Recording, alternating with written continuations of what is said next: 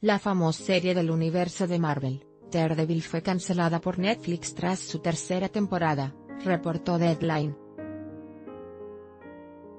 Estamos tremendamente orgullosos de la última temporada del programa, y aunque es doloroso para los fans, sentimos que es mejor cerrar este capítulo con una nota alta, dijo la compañía en un comunicado. El servicio de streaming agradeció el trabajo del showrunner Eric Oleson, al equipo de escritores de la serie al elenco, y a los seguidores del proyecto.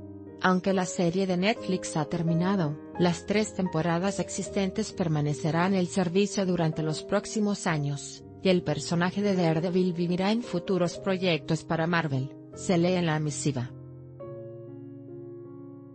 El mes pasado, Netflix anunció la decisión de no continuar con las series Iron Fist y Luke Cage, sus protagonistas forman parte del equipo de héroes de Marvel Comics de Defenders.